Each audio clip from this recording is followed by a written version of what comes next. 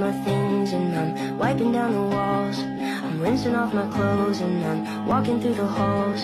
I did it all for her, so I felt nothing at all. I don't know what she'll say, so I'll ask her when she.